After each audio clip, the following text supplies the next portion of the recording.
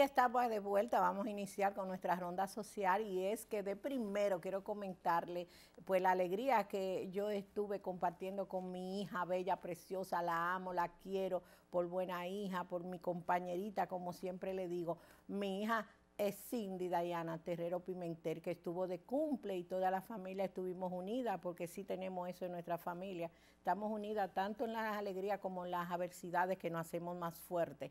Ahí te le doy las gracias C, E, e y el despertador que pues hicieron eco de, la, de su cumpleaños y hablaron más de mí que de mi hija, lo cual agradezco a Severo Rivera, a Rosa Encarnación, que dirigen el despertador por todas las palabras bellas que dijeron hacia mi hija y hacia mí, eh, Severo. Vamos a darle audio, señor director, desde el inicio.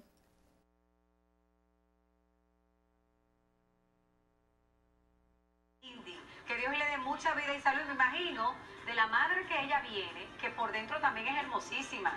Que Dios le dé mucha vida y salud. La dinámica Mirna. Sí, eh, Mirna es una mujer. Bueno, Mirna Pimentel, nuestra amiga Mirna Pimentel, está celebrando la vida de su hija, Cindy Dayana Terrero Pimentel, que está celebrando en esta fecha su cumpleaños. Así que salutaciones para Cindy Dayana Terrero Pimentel en esta fecha de parte de su madre y, oiga lo que le dice Mirna, que mujer tan atenta, por ser tan buena hija, merecedora de todo mi amor. Ahora, Mirna no hizo un muchacho feo, pero esa muchacha parece internacional, una modelo, bellísima Cindy. Que Dios le dé mucha vida y salud, me imagino, de la madre que ella viene, que por dentro también es hermosísima. Que Dios le dé mucha vida y salud. La dinámica Mirna Sí, tiene una mujer demasiado bella por dentro y por fuera y yo me imagino que la hija heredó eso. Es bellísima por fuera y por dentro me imagino que más. Que siga cosechando éxitos y cumpliendo muchísimos años más Cindy junto a sus seres queridos. En pantalla vamos a poner...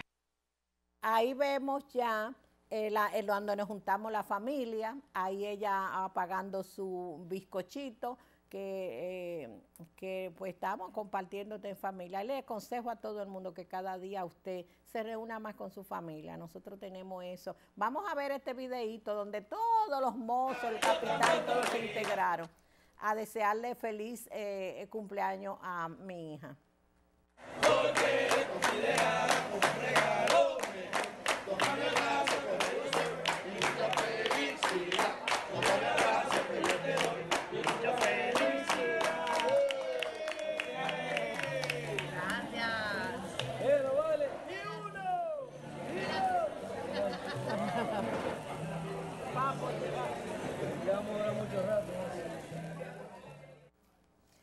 Bueno, ahí vieron y, literalmente después del cumpleaños pues yo me, fui a cubrir pues unas actividades. Digo, no fue al revés, primero la actividad y después quedarme con el cumpleaños de. Y es que Marilyn Monroe hay una, una obra de teatro que se llama La Última Llamada que va a protagonizar pues Lu García y estuvimos en esa rueda de prensa. Es un estreno eh, mundial porque no se había hecho una obra de esta categoría y escrita nada más y nada menos que de un eh, eh, dominicano, Antonio Melenciano. La última llamada llegará a la sala Máximo Aviles Blonda del Palacio de Bellas Artes de 5 al 8 de marzo.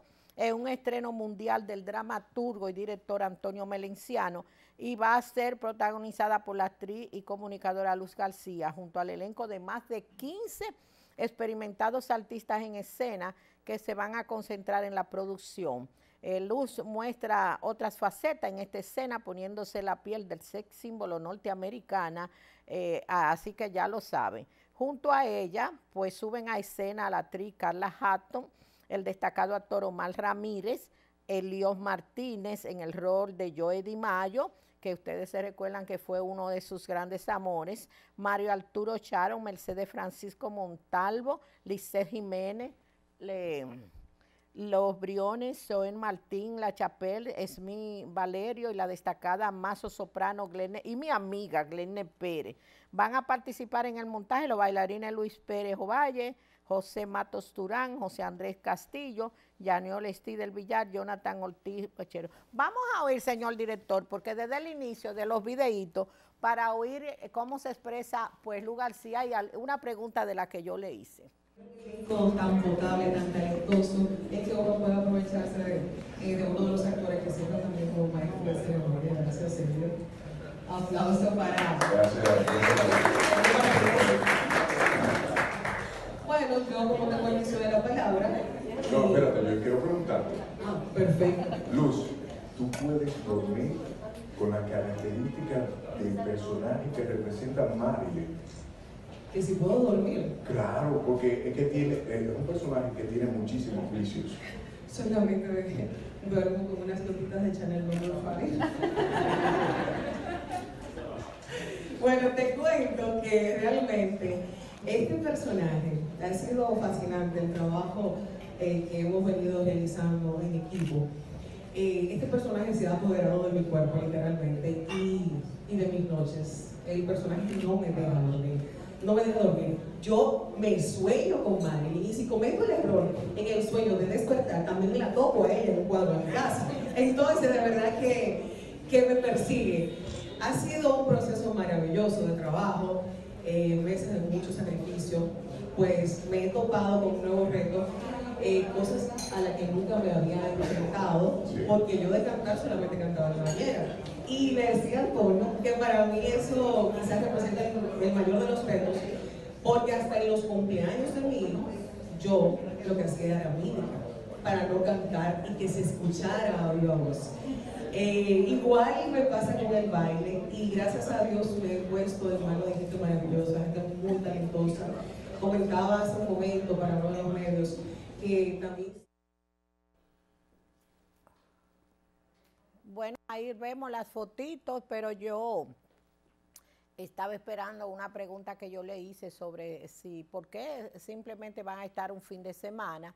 Eh, esta obra que ese montaje eh, lleva gran, eh, gran producción, porque es un montaje muy fuerte y con grandes figuras, y dicen que no tenían más espacio para seguirla proyectando y ya, y que de ahí sí la van a internacionalizar, ya que es un estreno mundial, pues tienen que llevarla a otros países, y Luz García me dijo que sí, que estaban en eso. Señor director, ahora vamos a hablar de Edwin Jiménez, es también un director de Camino, Film, que presentó anoche eh, unos proyectos que tiene para el 2020 y nos habla de eh, películas. Vamos a oírlo para después yo explicarle.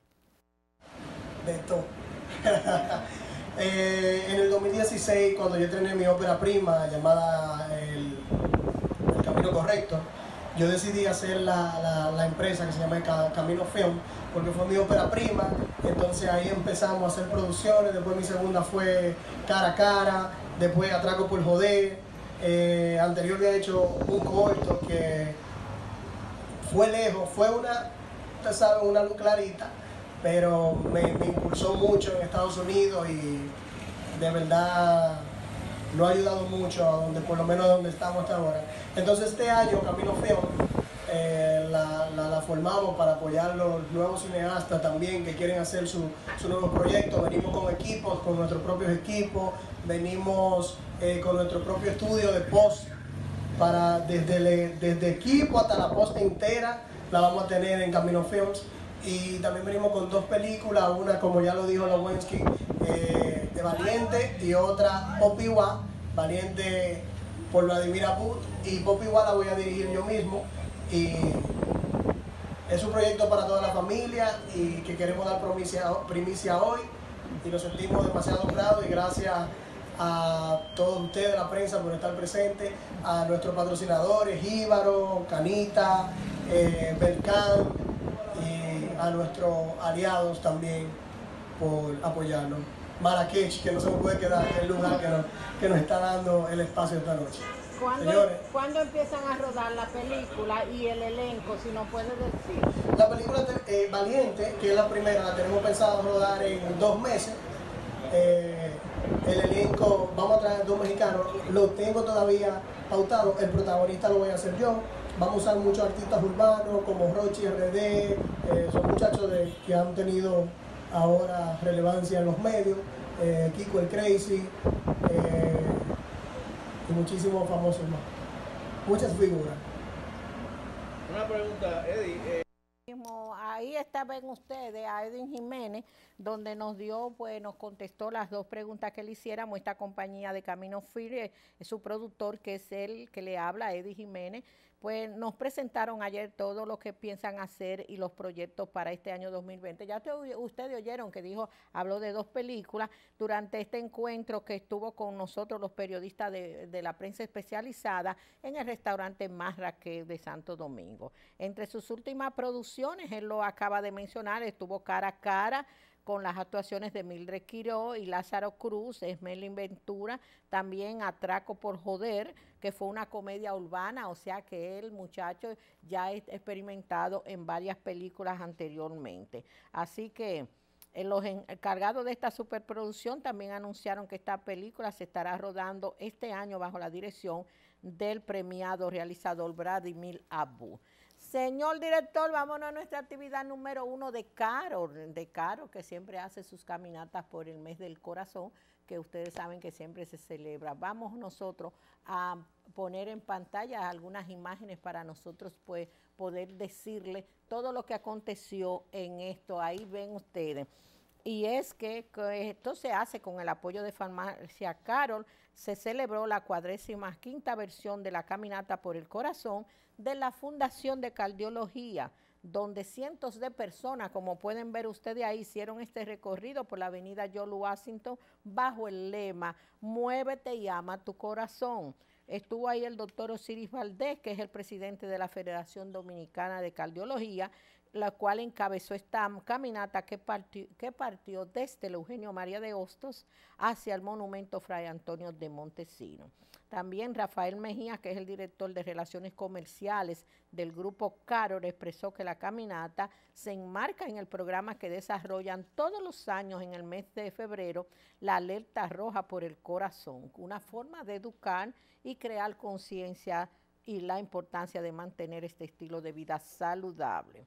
Así que alerta roja para el corazón 2020 y los clientes de Farmacia Caron pueden contribuir con esta fundación adquiriendo sus stickers y posavasos de artistas contemporáneos. Así que ahí en las gráficas que está poniendo nuestro director, ahí ustedes están mirando pues a Wilson Amparo, Siri Valdés, Mayra Melo, que son los ejecutivos de tanto de Farmacia Carol como de la Fundación Dominicana de Cardiología, Joan Patricia Landolfi, Julio Rafael Curiel, Rafael Mejía, todos los cientos de personas que se dieron cita en esta caminata, Fanti Hinoa, Roselín Arias, Tayana Gotrón, Gregorio Bautista, Carolina Encarramán, Wilson Miese, Claudia Carmona, Juan Tomás Ramírez, Joel Luna, Jorge Marcelino y Kendelson Cordero, Jorge Ureña, Alba Fernández, Juan Sierra, Aníbal Valenzuela y todos los que ustedes están pues mirando aquí en toda esta gráfica.